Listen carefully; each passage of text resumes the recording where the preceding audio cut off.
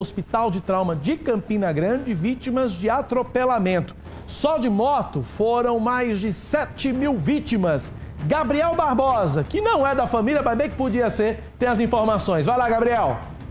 Os números divulgados pelo Hospital Dom Luiz Gonzaga Fernandes, o Hospital de Emergência e Trauma aqui de Campina Grande, preocupam e revelam o impacto da violência no trânsito.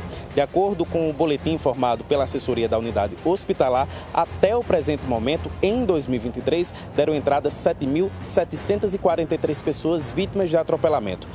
De acordo também com esses números, 665 deram entrada aqui vítimas de acidentes de carro, 541 vítimas de atropelamento 497 vítimas de bicicletas, além de 38 pessoas vítimas de acidente envolvendo caminhões. A gente tem é, números realmente muito alarmantes em relação aos acidentes de moto, de carro e atropelamentos aqui no Hospital de Trauma. É, só de moto nós temos quase 8 mil, estamos finalizando 2023 com quase 8 mil atendimentos de pacientes vítimas de queda de moto, que são realmente no, números extremamente preocupantes, tendo em vista que os acidentes de moto eles se tornam sim um problema de saúde pública. Chegando agora às festas de fim de ano, nós temos é, o aumento né, do, do, das confraternizações, enfim, é, e também aquela combinação drástica, danosa, que é o álcool e direção. Esse é o nosso pedido sempre à população para que é, possa passar suas festas de fim de ano com suas famílias em casa, é, curtindo de maneira né, tranquila, na paz, para que a gente possa de fato diminuir consideravelmente o número de atendimentos aqui no Hospital de Trauma. No trauma, a gente encontra vítimas de acidente de moto, sobreviventes que deverão passar o Natal internados. Infelizmente, eu acabei tendo uma fatalidade, né? É, na motocicleta, ela acabou estourando o pneu traseiro da motocicleta, eu perdi o controle. É uma coisa que a gente passa no decorrer da vida, a gente não, não sabe o que vai acontecer com a pessoa, mas quando menos espera, você está aqui. E é uma coisa que a gente nunca, nunca, nunca passa pela mente e pela, pela passagem da pessoa de estar de tá numa situação dessa aqui. É uma coisa que, como eu estava dizendo ontem na minha rede social, né? É, a realidade ela existe e é real. Vou passar por um procedimento cirúrgico, né? É, precisa fazer uma cirurgia do platô tibial, né? Isso, o médico está aqui fazendo toda a análise. E, infelizmente eu acabei quebrando o platô tibial, vai ser uma recuperação que vai ser um pouco demorada, mas se Deus quiser, vai dar tudo, tudo certo. Natal vai ser diferente esse ano, né? É, o Natal vai ser diferente esse ano, mas vamos entrar pelo menos com o pé direito bom, né? Tava vindo para casa, um rapaz me pegou de moto, de carro, me atropelou, eu tava de moto, quebrei a perna em três cantos, várias fraturas expostas e tô aqui. Pelo que você me contou, o rapaz estava embriagado, hein? Estava embriagado, foi preso em flagrante, mas já foi liberado, ele já entrou em contato comigo e falou que vai arcar com as despesas. Você já passou por um procedimento cirúrgico e provavelmente vai passar novamente, não é isso?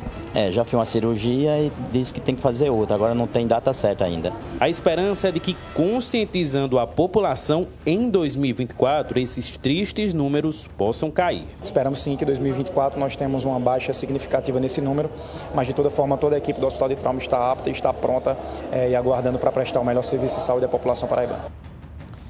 Gente, deixa eu trazer, eu vou, vou, dizer somente o seguinte, eu tenho um caso de uma pessoa da minha família que também sofreu um acidente, acho que de quinta para sexta-feira, lá em Campina Grande, está no trauma de Campina também, e aí vai esse apelo para todo mundo, vamos se cuidar, vamos ter cuidado, você motociclista, você ciclista, você motorista, porque, olhe, existe uma, um, um princípio para quem dirige, que é a tal da direção defensiva. E qual é o princípio da direção defensiva? É você dirigir por você e pelos outros, prevendo o que pode acontecer com você e prevendo o que pode acontecer pelos outros. Eu, pelo menos na autoescola, foi a única coisa que eu aprendi, viu, Batata? Eu não aprendi a dirigir na autoescola, não, mas a direção defensiva eu aprendi. E foi uma das poucas coisas que eu aprendi, foi, um, foi esse princípio.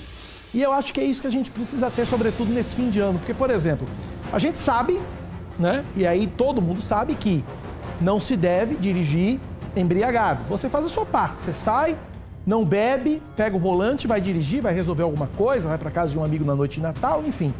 Mas você tem que estar tá preocupado por você, não bebendo, não ingerindo bebida alcoólica, mas tem que estar tá preocupado porque pode ser que apareça um irresponsável no seu caminho e estrague o seu Natal, sua festa de fim de ano. Então vamos ter cuidado para que esses números que a gente trouxe agora lá em Campina Grande e aqui em João Pessoa também, que não devem ser muito diferentes, que esses números diminuam e que a gente tenha um Natal mais em paz, um Natal tranquilo e que a gente não venha aqui, Samuca não venha aqui na terça-feira trazer. Olha, tantos acidentes no Natal, tanto isso, tanto aquilo, aquilo outro. Essa é a nossa torcida, esse é o nosso desejo. Aliás, um beijo carinhoso para Samuca, para Bruno, para Vinícius, toda a turma aqui que faz os programas na TV Arapuã e todos os nossos repórteres também. Obrigado pela amizade e pela recepção aqui nessa casa maravilhosa. Um dos repórteres vai falar comigo agora, porque a gente vai trazer um caso que aconteceu ontem à noite e deixou